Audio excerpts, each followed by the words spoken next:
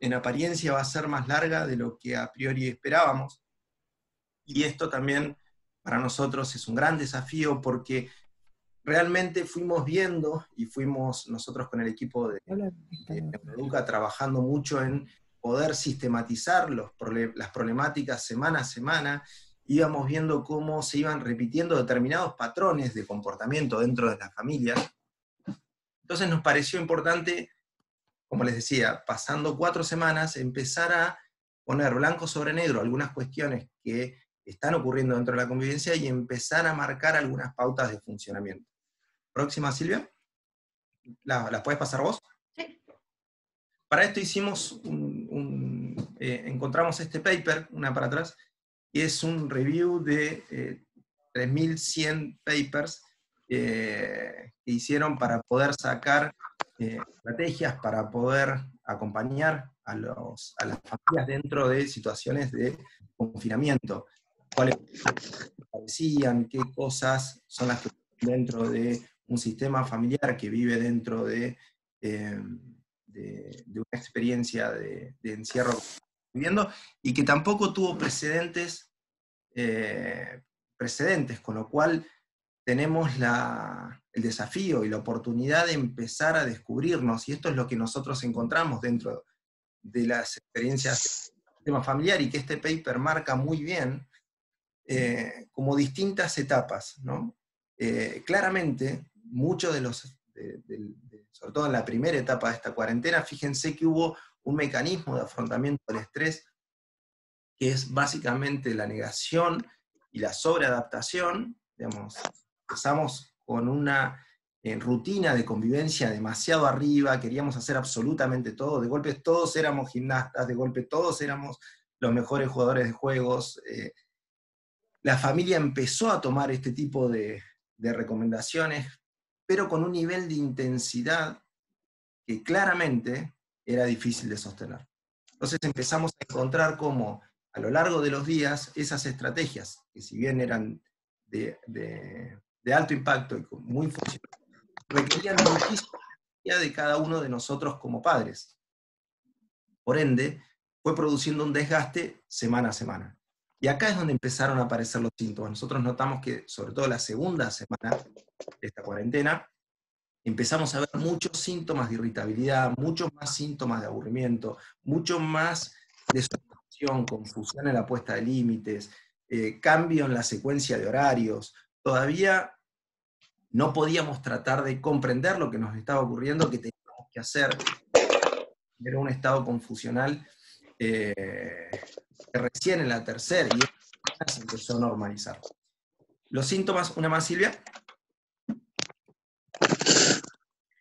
Fíjense, los estresores que marcan eh, los papers dentro del sistema familiar generan determinados síntomas, como miedos, frustraciones, aburrimiento. Y esto, esto es importante porque fue lo que colapsó a nuestro entender entre la segunda y la tercera semana empezar a armar una rutina donde las tareas escolares empezaron a ser un tema, el colegio en casa.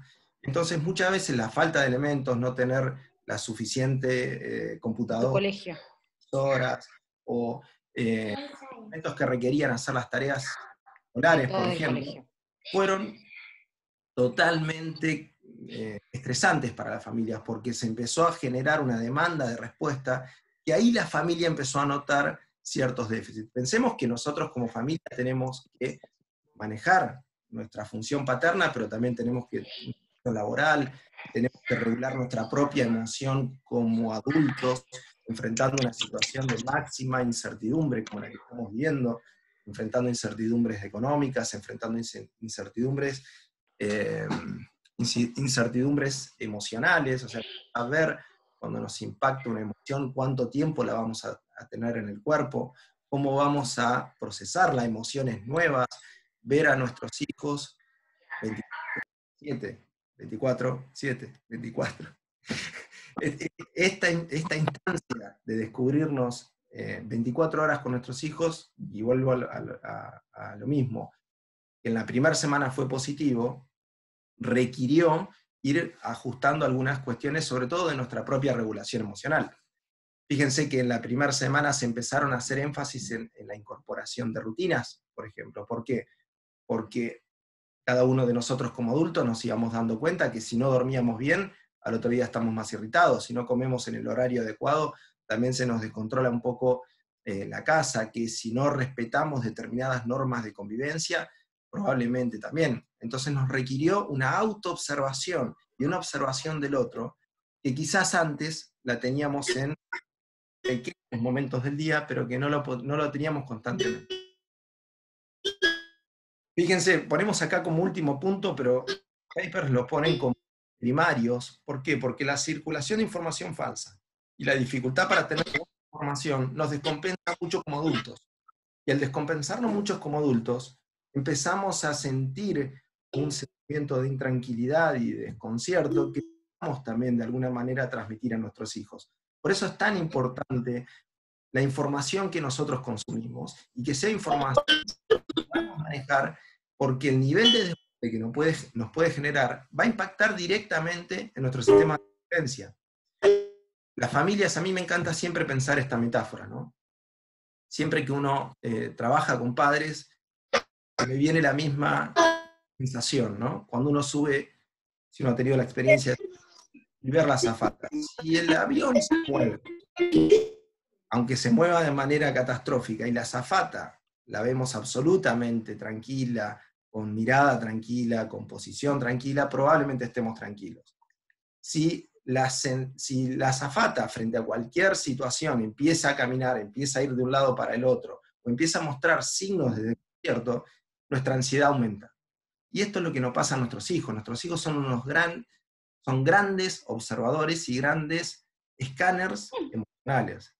Entonces, ese, eh, esa posibilidad que nos da hoy de que no estén nuestros hijos todo el tiempo, es que también estén absolutamente conectados con nuestra emocionalidad.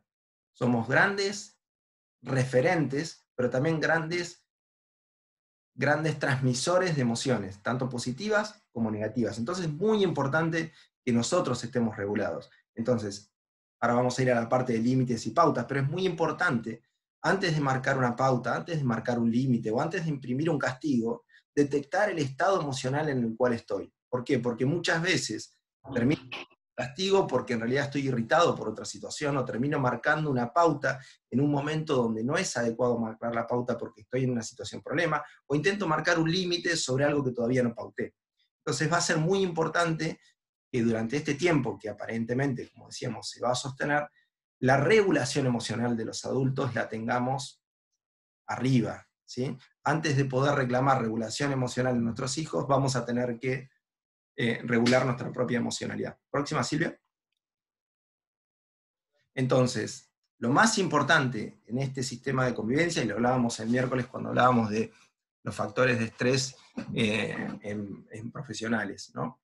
Es empezar a aceptar que nos vamos a enojar, empezar a aceptar que va a haber momentos donde nos vamos a sentir desesperanzados, empezar a aceptar que vamos a tener ganas de abandonar, empezar a aceptar que vamos a sentirnos cansados y que eso es normal, que vamos a estar más irritables y que podemos tener cambios en el humor. ¿Por qué es importante la aceptación y por qué para nosotros es muy importante que podamos entender la emocionalidad? Porque si nosotros aceptamos una emoción, es la primera herramienta que tenemos para controlarla. Las emociones, cuanto más intentamos controlarlas, cuanto más intentamos apagarlas, más se disparan.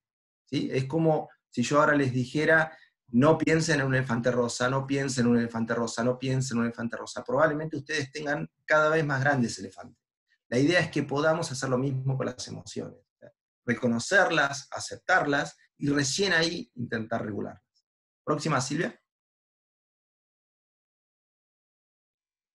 Entonces, como les decíamos antes, a lo largo de la cuarentena nosotros vimos varias etapas y que las pudimos estudiar y ver los síntomas que requerían y qué estrategias utilizar en cada una de las familias que nosotros estuvimos acompañando. Pero si nosotros las podemos resumir, tuvimos una primera etapa que psicológicamente podríamos llamar sobreadaptación, donde intentamos adaptarnos a la situación, pero sin estar tan atentos al costo emocional, esto que decíamos recién. gastamos todos los recursos, gastamos todas las recomendaciones que leíamos en Internet, leímos todo lo que podíamos hacer en ese momento, pero no pensamos tanto en el costo emocional. Entonces, en muchas familias ocurrió muchísimo desgaste, muchísimo cansancio y fueron difíciles de sostener en el tiempo. Después pasamos a la segunda semana y tercera, donde realmente empezamos a adaptarnos, realmente la situación de estrés empezó a cronificar, realmente empezamos a sentirnos que íbamos a estar viviendo un largo tiempo dentro del sistema familiar todos juntos. Y ese momento empezó el que nosotros detectamos mayor conexión emocional entre los miembros, y mayor conexión emocional no significa mayor conexión emocional positiva. También fue mayor conexión emocional con la frustración del otro, mayor conexión emocional con el enojo, con el cansancio, con la irritación, aprender a regularlos, aprender a no escalar, empezar a detectar patrones eh, de funcionamiento dentro de las familias desadaptativos, y sobre todo, como decimos en la etapa 3, cierto desgaste. ¿Por qué? Porque hubo sobreadaptación, después nos adaptamos, empezamos a estar cansados y tenemos incertidumbre hacia dónde. Entonces, para nosotros es muy importante marcar esto que nosotros llamamos, de esta semana, nuevo orden familiar. Poder establecer cómo queremos que sea nuestra convivencia. Ya no podemos pensar si queremos, no queremos, si estamos, si no estamos, si nos enojamos con esto, si nos deprimimos. Nos parece más inteligente empezar a pensar cómo queremos una emoción positiva desde un desafío y sobre todo con la experiencia de lo que hicimos hasta ahora. Nosotros nosotros lo que notamos también que en algunas familias, producto de la incorporación externa de herramientas, empezó a perderse cierta identidad familiar, cierta identidad de lo que la familia tenía como origen, cuáles eran sus gustos, y bueno, por ahí es importante ahora empezar a mezclar qué pautas incorporamos, cuáles eran históricas, qué, qué teníamos de nuestra familia y que nos servía para aplicar ahora, qué incorporamos y que se potencia, y sobre todo es un gran desafío para incorporar nuevas pautas. Estamos todos juntos, estamos todos funcionando, hay cosas que descubrimos del otro que están buenas también. Es importante darle a los chicos en, nuestro, en este nuevo orden una eh, función específica dentro de la familia, dentro de este proceso de confinamiento, que los chicos tengan un rol importante y no solamente que nos ayuden, sino que tengan protagonismo.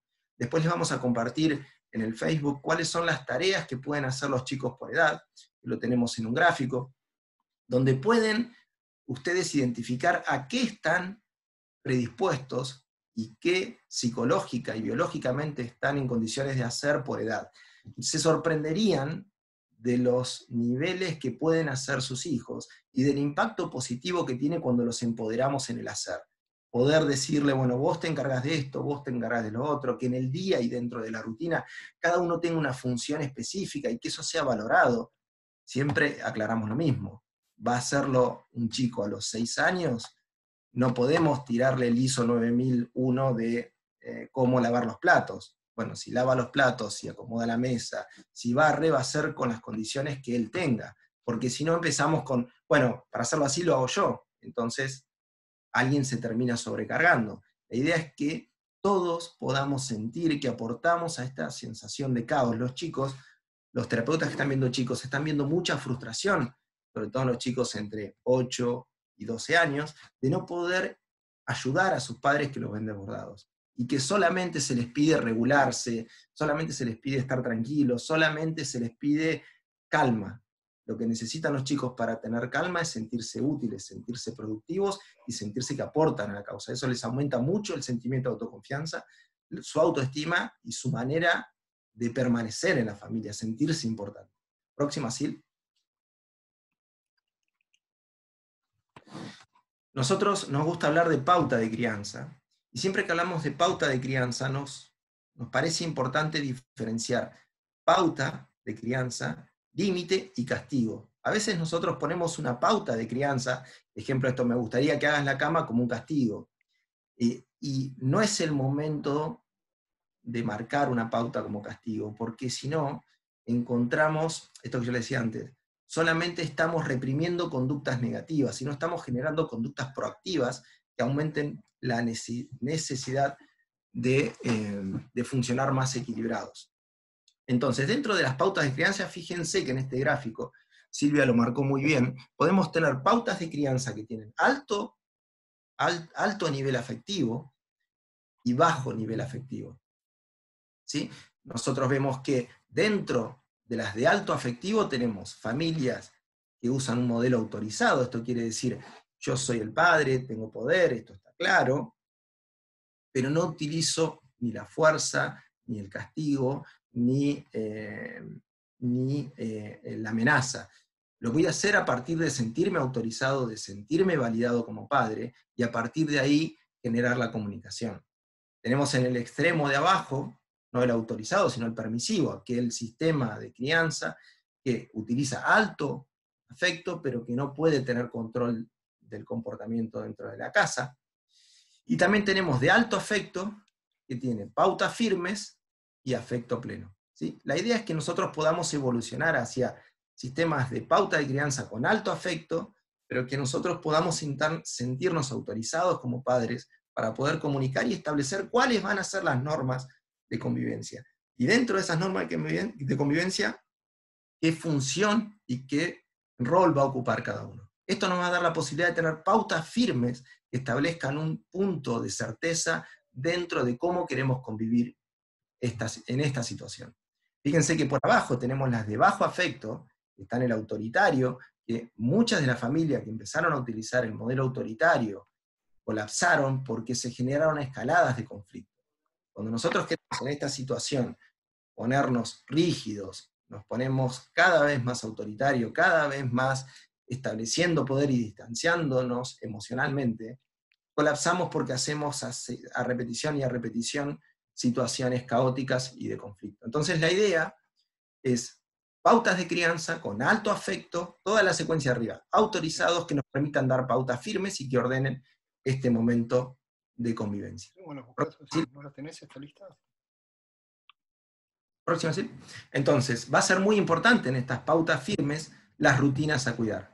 Ahora Silvia va a empezar a trabajar un poco en estas rutinas. ¿Por qué? Porque nos parece importante que, y esto que pasó la segunda semana, que colapsaron muchos sistemas familiares, fue porque en la primera las rutinas no se cuidaron en muchos sistemas de familia, y cuando hubo que implementarlas, las rutinas para empezar a trabajar sobre tareas del colegio, fracasamos en la posibilidad de implementarlas. Próxima, Sil. Una anterior. Las rutinas, Sil, ¿querés arrancar con esto? Dale, ¿se me escucha? Sí. ¿Se me escucha? Perfecto. Bueno, eh, un poco la idea es orientar estos últimos minutos de la charla a cuestiones que tienen que ver con el sostenimiento de, de las actividades académicas y los sistemas de educación a distancia que estamos viviendo todos los padres con bastante nivel de estrés y todos aquellos padres que no, no, estaban acostumbrados a tener una presencia tan marcada en la vida académica diaria de sus hijos, están encontrándose con un montón de situaciones este, que por ahí no son, no son tan, tan fáciles de administrar. Lo primero que nosotros podemos decirles y contarles es que hay dos hábitos que son fundamentales y fundacionales para sostener todo tipo de aprendizajes. Uno de ellos es el sueño, la otra es la buena alimentación.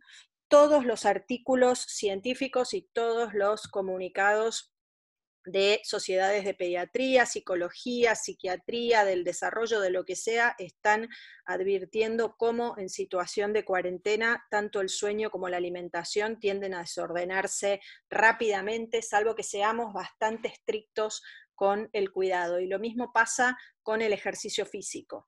Entonces hay tres cosas que son altamente recomendables en situaciones de la vida en general, de pandemia y cuarentena en particular dormir de la misma hora a la misma hora, de lunes a viernes por lo menos, flexibilizando el fin de semana como en épocas eh, sin cuarentena, tener por lo menos cuatro a seis comidas diarias ordenadas, cuidando los alimentos que se consumen, disminuir o cuidar el consumo de alcohol que colabora con la alteración de patrones de sueño y de alimentación, y establecer eh, momentos determinados para la actividad física. Los adultos estamos tratando de cuidar nuestras rutinas de ejercicio físico, pero tenemos que también trabajar para que los chicos tengan un espacio del día en el que se dediquen a hacer algo de ejercicio físico.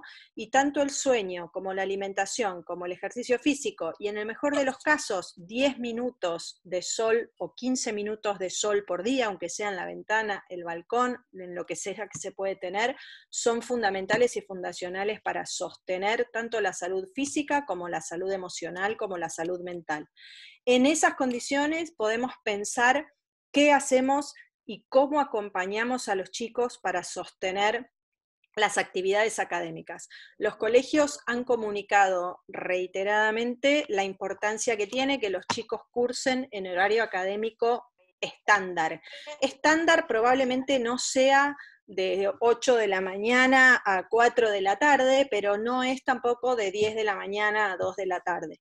Idealmente, a partir de las 8, 8 y media de la mañana, los chicos tendrían que estar levantados, habiendo desayunado y estando en disposición de trabajar.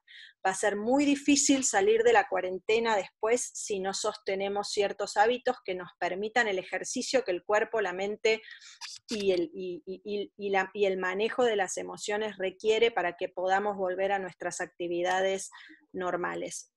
Una vez que tenemos controlado tanto el sueño como la alimentación y el ejercicio físico y unos minutos de sol, podemos empezar a pensar en cómo acompañar a los chicos.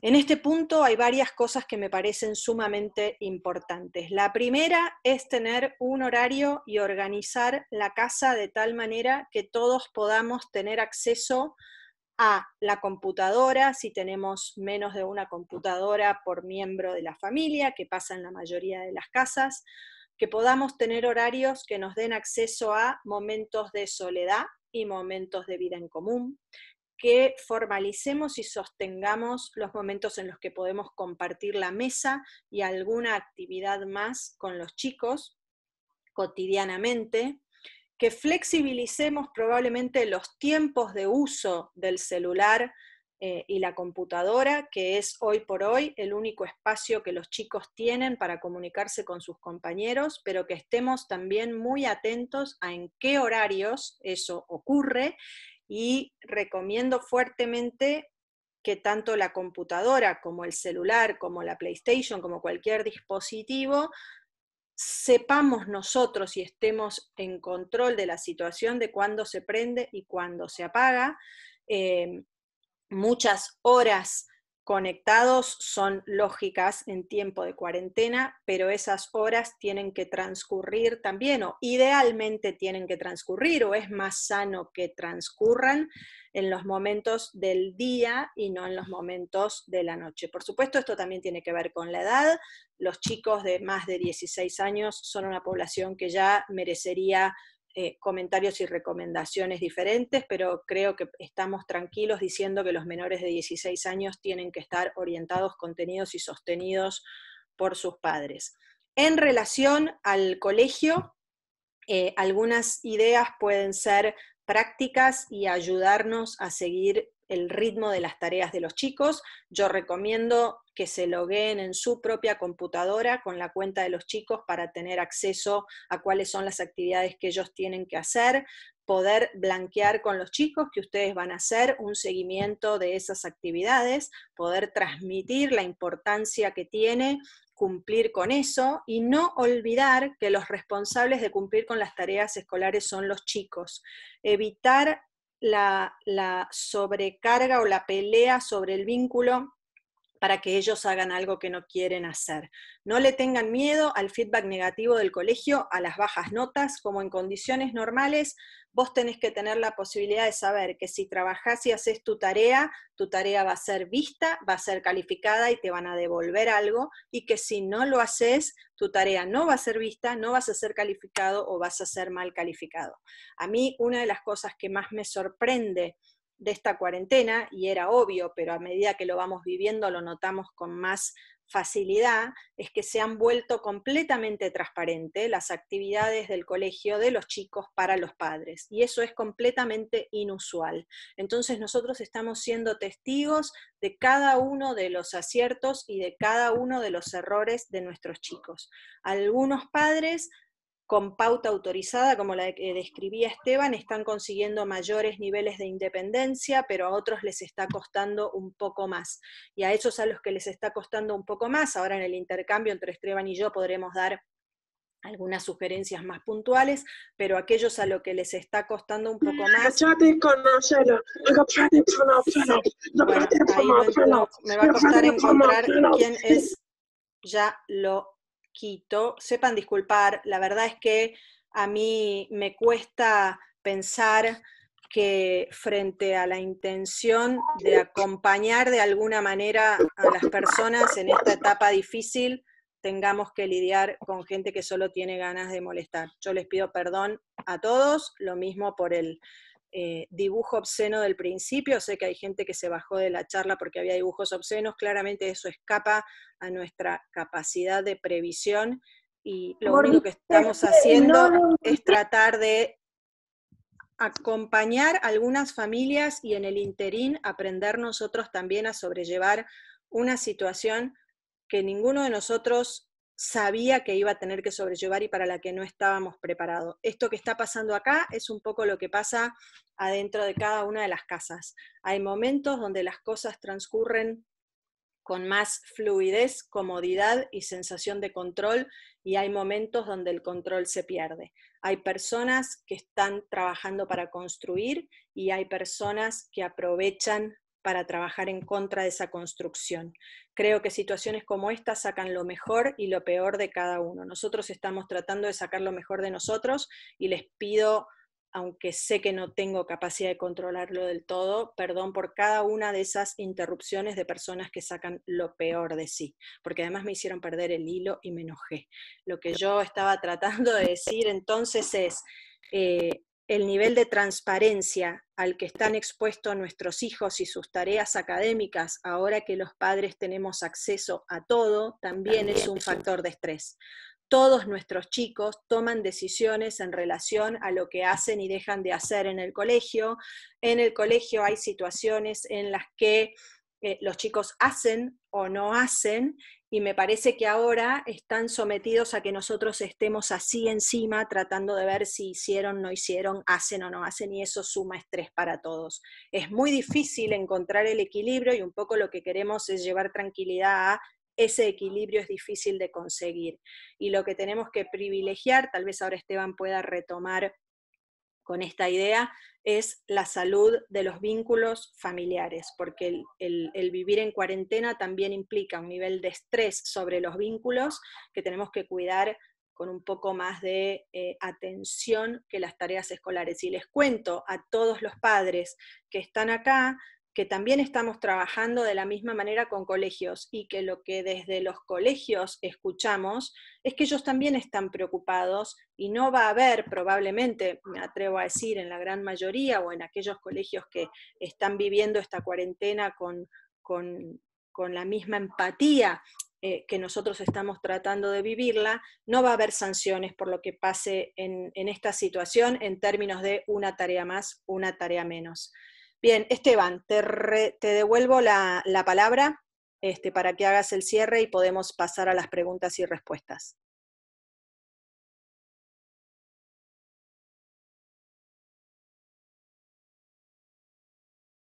La idea que, me, gustaría eh, compartir. ¿Se escucha? ¿Se escucha?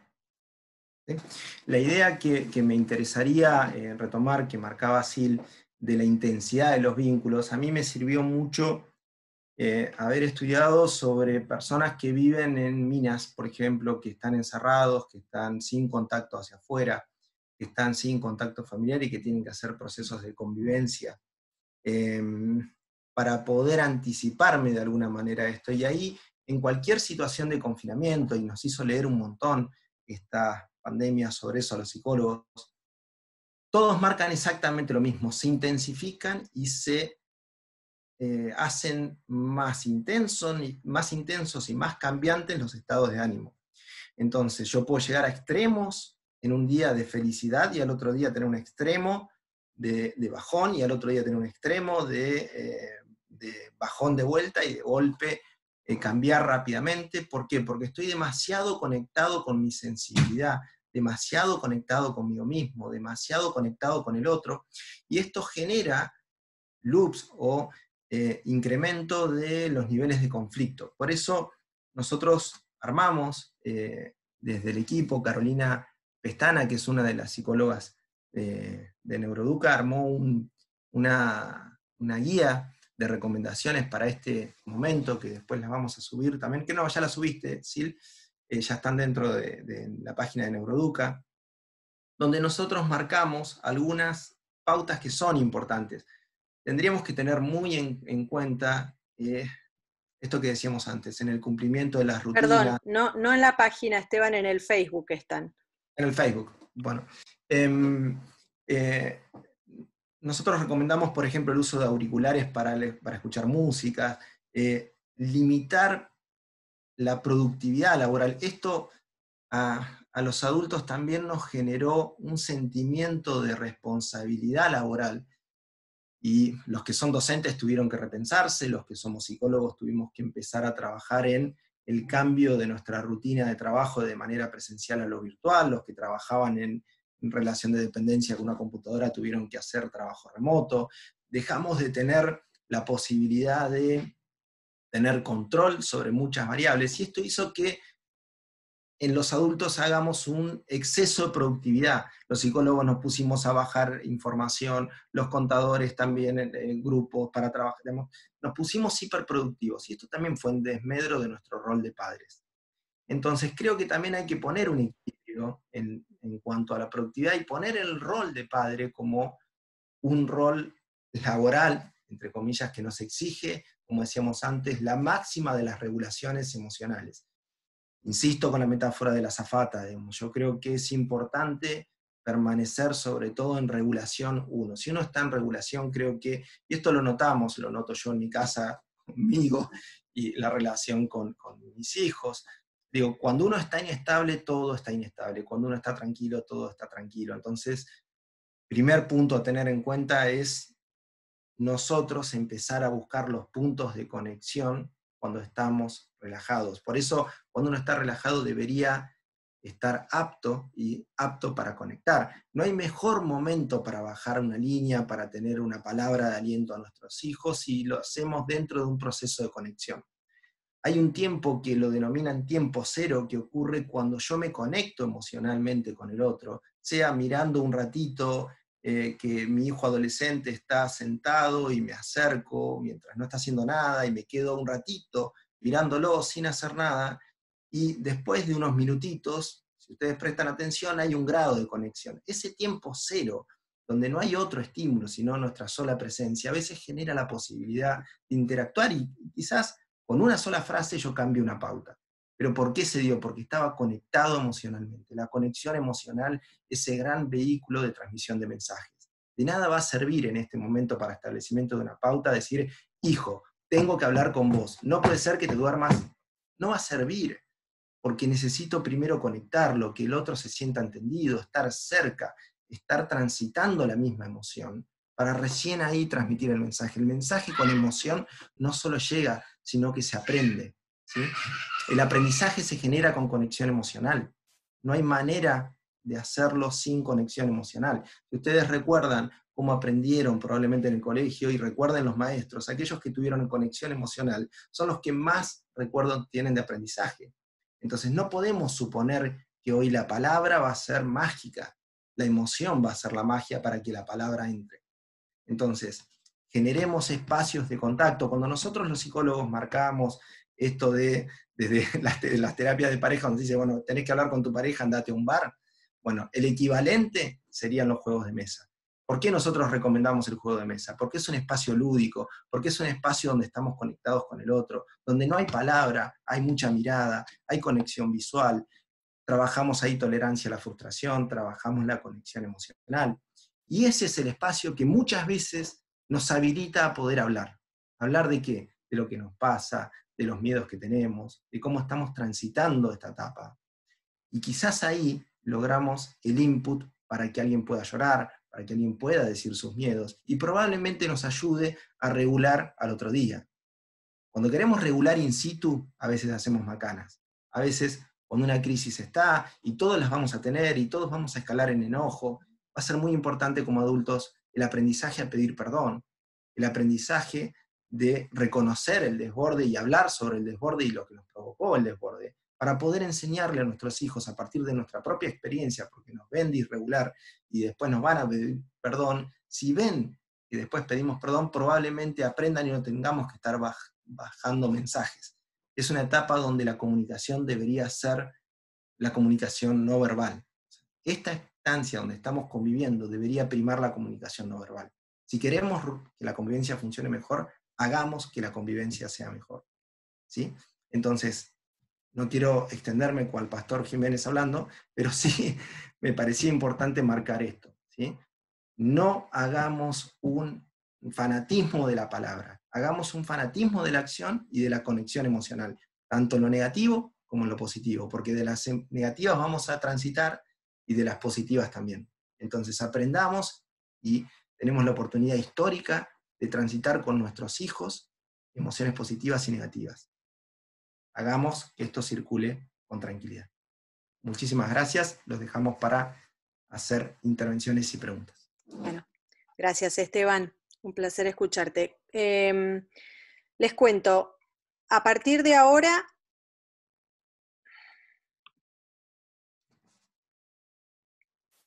Ah, bueno, ahora voy a tratar de lograr que la gente no pueda compartir pantalla. A partir de ahora van a poder hacer preguntas. Em, si les parece bien, lo que pueden hacer es o levantar la mano y yo les voy a ir dando la palabra. Gaspar, el papá de Lucas, levantó la mano. A ver, Gaspar, ¿tenés algo para decir? ¿Cómo andan? ¿Cómo te va? Perfecto. buenas tardes. Buenas tardes. Quería, quería, muchas gracias primero por las ideas, por cómo nos guían y, colaboran, digamos, a esta cuarentena que vivimos todos. Y les quería pedir si estas cosas que dijeron que iban a subir